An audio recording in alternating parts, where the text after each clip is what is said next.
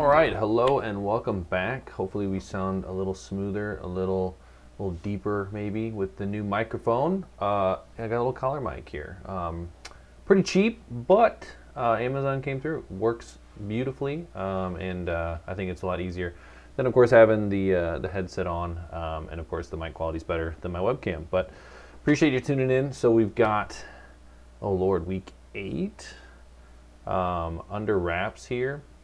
It was a busy one. Uh, I had a bunch of earnings last week, so um, got a little busy, but it's all for the good. We had a nice pro- profitable week, and um, let's get into it. So as you can see here, we had about almost 70 orders last year. Like I said, uh, I think we had uh, 22 earnings trades in one day. Um, so things got a little hairy, but uh, luckily all for the good. Didn't really have any mistakes this week, which I think is pretty good. Um, always a good thing. And then, of course, we're profitable. So um, we're going to start off with I talked about last week about the uh, applied materials um, snafu pin risk situation where we got assigned some shares over the weekend.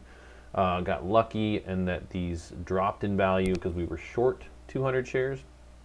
So definitely glad that that's that closing out position there.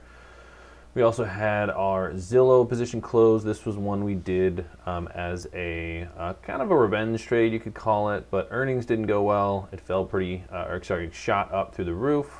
And so um, when they're exaggerated moves like that, we like to sell um, positions against it, expecting them to kind of fall back down into a normal range, which Zillow did nicely. Um, we held that one for a short amount of time and uh, got our profit target. So, and again, one of those beautiful ones, we set it up all but forgot about it, and it closed on its own for a nice couple hundred dollar win. So, um, Royal Caribbean earnings trade. Uh, let's see here. Cree was another one that we closed out. This one moved pretty far in its own earnings a couple weeks ago, uh, about two weeks ago, and so we sold out. It came uh, crashing back down into the normal range, if you will. Oh, let's see here. There we go. Bam. Um, and uh, again, set it and forget it. Made a nice little profit on that. Same with Penn Gaming. Closed out Royal Caribbean the next day for a small loss because uh, it took off for whatever reason. Missed earnings, missed sales. I don't know. What happened? It happens, it happens. Um, so obviously last week was uh, the market started to drop a little bit. Um, so we did a little bit of rolling or maintenance uh, on the portfolio. So anything that was being tested on the put side but wasn't quite in the money or wasn't so um, being tested meaning so on this um, Cognizant here, we were being tested. Our short put was a 73. Cognizant was getting very close or testing the 73 limit or, or level.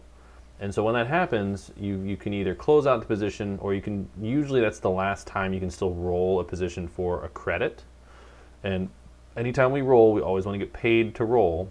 And rolling just means giving ourselves more time. So as you see here, originally this position was going to expire on the 12th of March.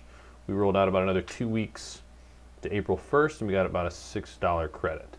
So nothing crazy, but we did get paid in order to extend the time that we have. Because again, uh, markets are fickle, of course, and you know this kind of down move kind of came out of nowhere. Um, I expect it to be a short-lived situation, so giving ourselves more time, letting Cognizant and all these other positions have time to rally back above or fall below, depending if it was a call or put.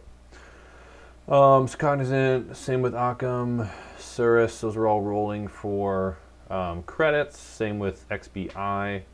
Um, this one actually we got to roll. It was quite a bit against us um, because XBI just, just took off. And so because of the drop in the market, we were able to roll this out for a little bit more time, actually almost a whole other month for a small credit.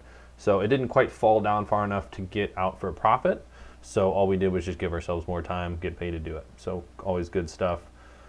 Uh, John Deere, this one we sold um, because they had earnings week before.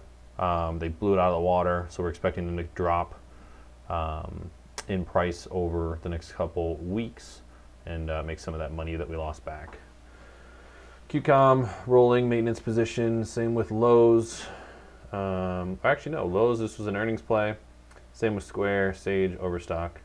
Um, those are all earnings plays. Closed out Lowe's for a nice win. Um, Sage Therapeutics also for a little win. Sage was a little, a little dicey. Um, not a lot of activity at all in aftermarket or pre-market, and so um, and it was pretty much. It looked like it was going to open right about our middle price, our 80s here, and um, it did, but it started to really spike up and down. So we got out just pretty much whatever I could get. Luckily, was just below our credit of 588, so we made a little $50 profit there. Nothing crazy, but always better than a loss. Square, unfortunately, had to pay a little bit more. It started getting a little squirrely on us. It did eventually come down for, would have hit our profit target, but that was several hours later, and, uh, and I don't deal with that uh, anxiety situation. So um, kept the loss small, get out, save our sanity. Always what we want to do. Um, Home Depot closed. Is a long-term trade uh, that we just had on from before. Uh, so again, a set it and forget it thing. And then Overstock, we had a little win there. Nothing crazy. 895 got at 870. Um, but that one is getting a little squirrely. Apparently, he's got some subpoenas and some legal stuff going on from 2019, and uh, the market doesn't like government getting involved. So uh, we got out luckily for a small win there. Uh, this was the 24th, which was Wednesday, I believe. Yeah, so we're on to Wednesday now. A bunch of earnings um, and a little bit of maintenance. So IFF, we had some maintenance. We rolled that um, out for a little more time because again, it was uh, reaching our 145, 150 number. and then we had earnings: Teladoc, Tandem, Best Buy, NetEase, Papa John's Pizza, Nvidia, DPZ, Domino's Pizza, and Wayfair. Now, I want you guys to know that I don't normally know all the names of the companies. Um, but because I refuse to say like NetEase and Nvidia, like I'm just I'm learning a little bit more about the company, just that much more than I typically would um, to, for commentary for you guys. Um, this, for the most part, this is a pretty good day. So Teladoc, uh, we got out for a little win. NetEase, we got out for a little win. Best Buy, I believe we lost on.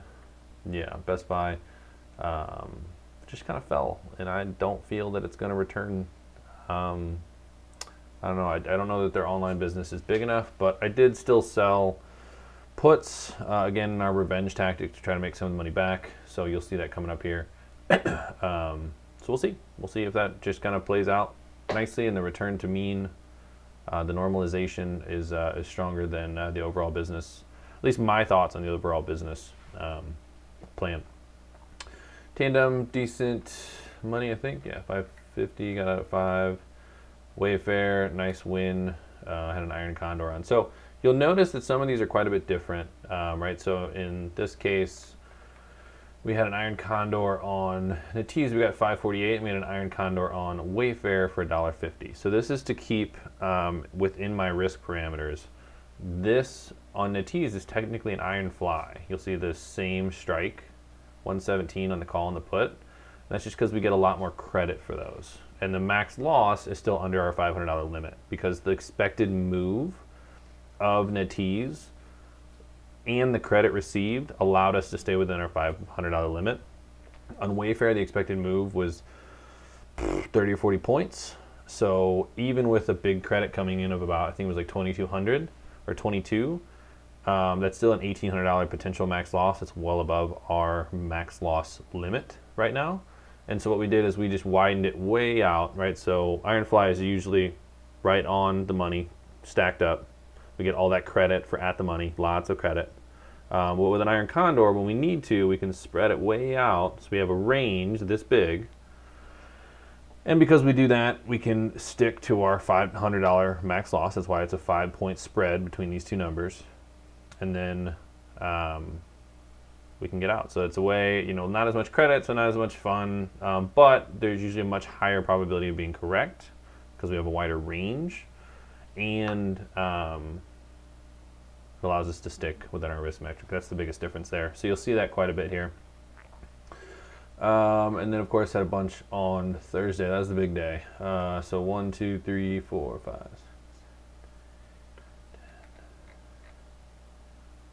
13 uh, earnings just on that day alone. So um, that was definitely a pretty good winning day too. VMware did pretty well, if I remember right. Uh, most of our iron condors are small guys, close pretty well. Um, yeah, dash dash is pretty good actually. Dash actually we put for uh, I think 11 and it filled at like 1045, 1050. So when that gaps, like it just means uh, when we get that good of a fill adjustment in our favor, um, I think it just means we nailed it. Uh, now obviously waiting a little bit longer, another I think it was like 15 minutes on dash, we could have made, could have gotten out for like seven or eight, so another two, three hundred bucks. Um, not that big of a difference. I don't know that I necessarily would have stayed. We already made two, three hundred bucks. Um, and, and the technicals just didn't look ideal uh, to continue holding. So I'm happy with that. Um, but of course, you know, you can always make more. And, and really that can add up over time, right? You know, that's a one trade. We made 70 trades this week. If you made another 25 bucks on, you know, 5,000 trades a year, just saying, just saying.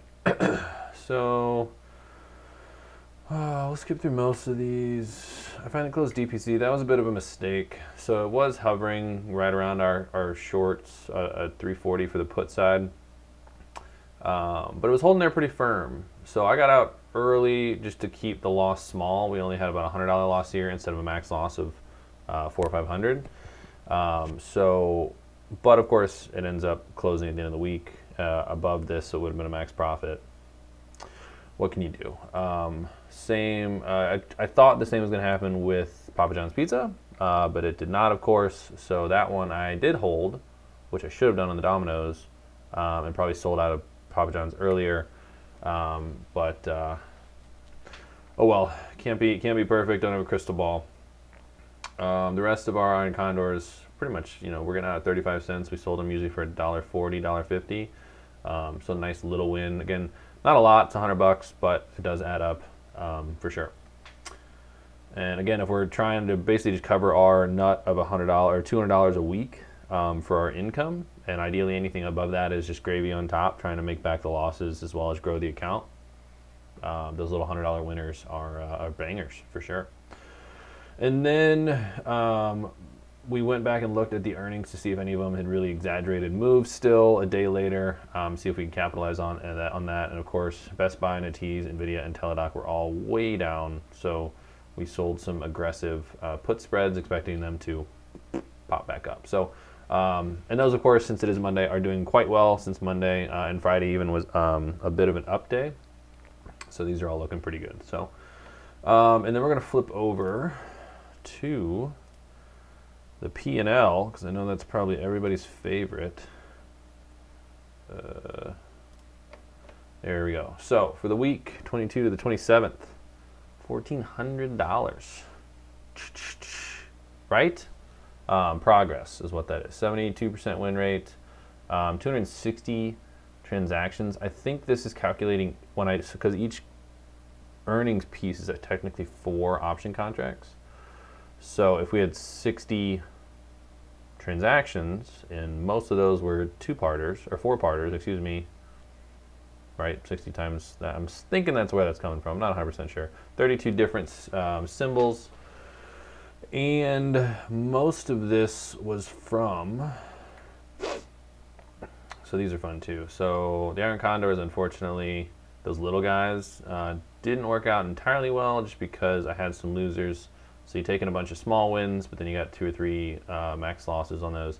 That's why I don't like to do those. It's kind of how the Iron Fly came about because um, they just seem to work better and you get more premium. So in case things go bad, you can usually make it out. And then vertical shorts. So these were some of the uh, revenge um, exaggerated earnings moves that were closing out, right? So 900 made, about 1,000 made, 950 made off um, the earnings, and then the rest was made off of the longer term, 30, 45 days um, premium selling. So uh, I think that's it. Uh, lastly, I guess we'll show you just how we're doing for the year. I wish they still had the little plus signs. Um, so down 3186.